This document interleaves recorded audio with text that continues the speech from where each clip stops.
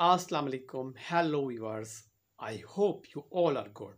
I am your facilitator Yusuf from 5 Minutes Information channel. And today I will talk about the one of the key library document which is known as accession register. This is episode number 96 and in this episode I will talk about the four key points about the accession register. For the viewer guidance, notes of this video lecture mentioned on the link of this video description. Number 1. What is an accession register? Number 2.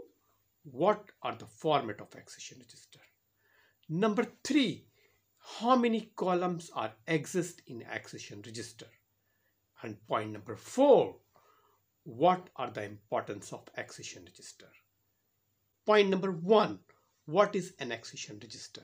An accession register is an authoritative document of the library where all the library materials like books and other materials are recorded. Point number two, what are the format of accession register? There are, there are two main format of the accession register. Number one, manual or physical register. Number two, automated or computerized accession register. Manual register, manual accession register, manual or physical accession register, librarian or library staff manage it. It is manually and all the, it is written by hand and all the items are entered and listed by the library staff in this register. Due to automation and digitalization, library manual accession register usage are reduced in the libraries. Number two, automated accession register. Automated accession register are used in different library automation programs like MS Access, MS Excel, Oracle and other. Beside the manual writing on register, here library staff and do the data entry of the library materials. Automated accession register is also available in the different library softwares like Venisys, Genesis, Koha, Symphony and others. Point number three. How many columns in accession register? There are 14 columns in accession register. In automated accession register, there are 14 fields.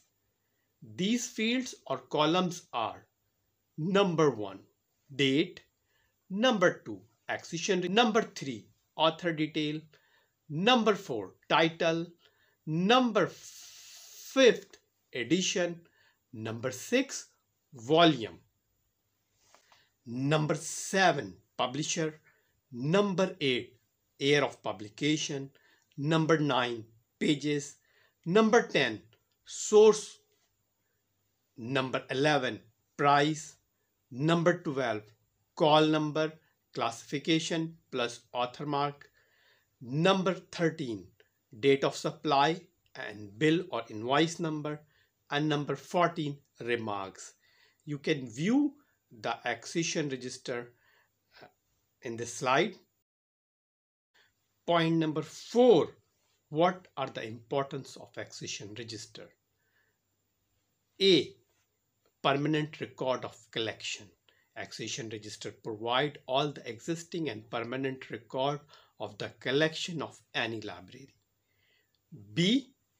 Stock taking of library.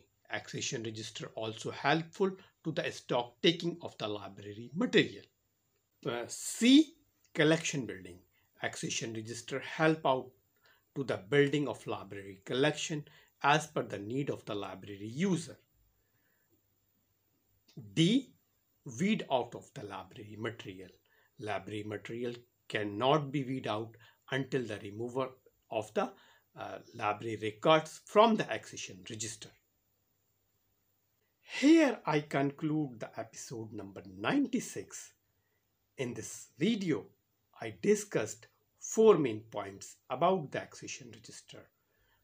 Number one, what is accession register? Number two, types of accession register. Number three, how many columns of accession register.